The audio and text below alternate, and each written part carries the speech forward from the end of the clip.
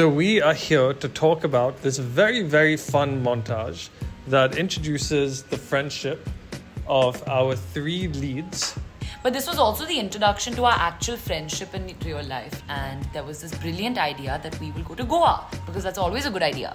And Goa was set to be a bonding experience. It was a trip for all of us to kind of get to know each other and for the crew. So we decided that in the process of this bonding exercise, we'd get a bunch of footage that we would use for a montage. We thought we had to act like we were having fun, you know, but actually, what we realized was that the more natural, the better. So I think the first day we were like, oh, what moments should we have? Let's plan it.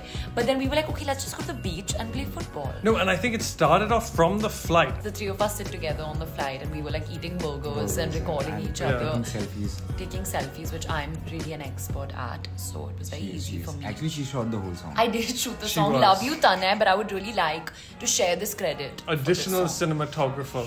Yes, Ananya Ananya. Panday. that was me. Because the boys were just messing around. Like they would do something, and I was like, why is no one recording this? Arjun was like, Annie, you just recorded. All I remember is others working out, doing push-ups, not drinking, not eating. He was only I can my only memory of him in Goa is doing push-ups and handstands. Because he was so heavy into prep and getting into it in the Goa parts where we're dancing at the club, you can see Sid and me losing our minds, and others just just like the responsible one.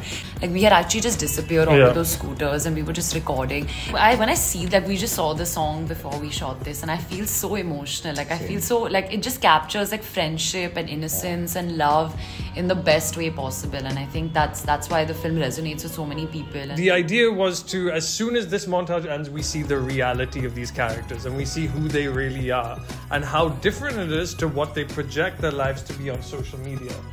Um, so that's kind of that. That's really what this montage is about. But I think that was also done well because y'all used footage from the actual phones and then Yeah. y'all had footage that was shot on the film camera and that showed the difference. Like there's one shot of like Sid and Adarsh, you know, kind of taking a selfie and laughing, but then you cut to a wide shot of it and they just look so silly doing that. And that Yeah. juxtaposes like how it is, you know, in real life versus like Wow, that's a very good observation. That is a good observation. So thank you guys. I hope you learned a little bit more about Koge Hamkara I did for sure. and what went behind some of the moments and experiences.